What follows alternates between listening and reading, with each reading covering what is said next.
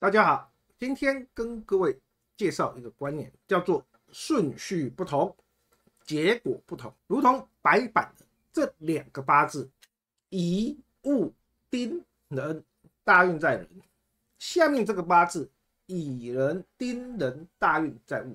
这个八字很多人批出来，十个人里面有九个都会批成呢戊土克壬水。然后还有个壬水生乙木，十个有九个会批这样，这个是正确的五行流通，没错。这两个八字都是这种情况，可是呢，这两个八字其实是完全不一样的情况。上面这个八字它是日主受克，下面这个八字它没有日主受克，也就是说你看起来排列组合一模一样。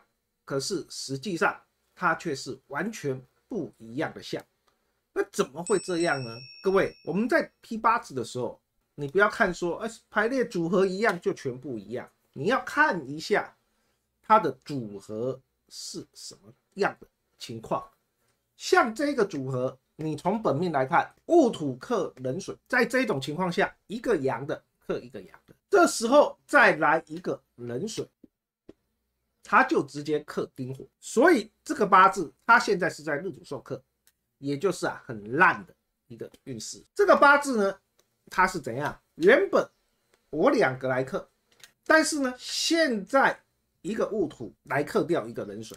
各位，这种情况是不是两个来克我变一个来克我，是不是就变好了？这种情况你可以呢把它说它脱困了，也就是说它从本来日主受克变成。没有日主授课，而这个八字是从本来没有日主授课变成日主授课，可是它的排列组合让你看起来都是一模一样的状态，可是它的内涵全部都是不一样。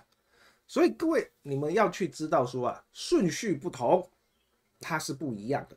所以在批命的时候，请你们要注意，你们在帮人家论断的时候。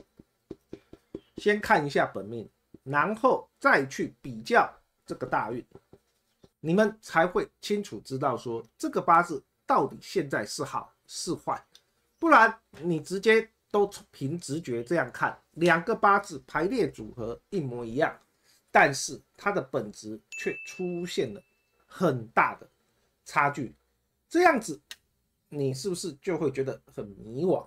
这也就是啊我们常常讲的。五行派会让你觉得很迷惘的这个情况，就是因为你顺序不懂，你阴阳不懂所导致的现象，并不是五行派不准，而是这些东西你假如呢没有去弄清楚的时候，你批出来的，各位就像这样子，就算五行深刻正确，你连解释都还会错误，所以各位要清楚知道说顺序不一样，它可能。会导致不一样的批论结果，所以我们要时常的去看说他的本命，还有跟现在的大运，他到底是成什么样的状态，你才有办法去真正的批论出他的情况。今天跟各位分享到这边，有空帮老师点个赞，我们下次再会，拜拜。